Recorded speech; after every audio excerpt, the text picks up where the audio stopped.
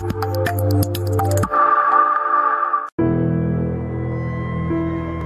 go on dates, kiss the girls, you have your little one night stands. It's come back. But you ain't loved a single one of them, have you? People fall in love and they get married, and yes, they're usually very attracted to each other. But give them 10 years and two kids down the road, and they somehow fall out of love? What happened? Get out! And you see her, she's young, she's pretty, and you just want to use her young body for your pleasure. Is that it? Stay away from my girl.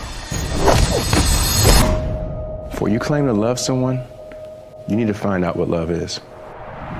How would you define love? Love is not having to hold your farts in anymore. I learned a lot about love when I fell out of it. Love's taking care of the poor. I've been studying and studying and studying, and I cannot find an answer to the love question. I've always had feelings for people, but I've been asking myself, is love a feeling? And when you lose that feeling, how do you love when you don't love? I need you. She was my everything, my rock, my conscience. Is Evangeline alive? I believe so. Why does it hurt me to actually attempt to love somebody? True love never hurts anyone. Longing hurts. Selfishness, jealousy. You have a fiance? A girlfriend? Then who are you writing vows to?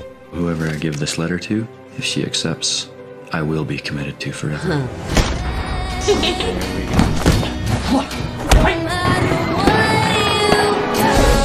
Love always protects. It always trusts.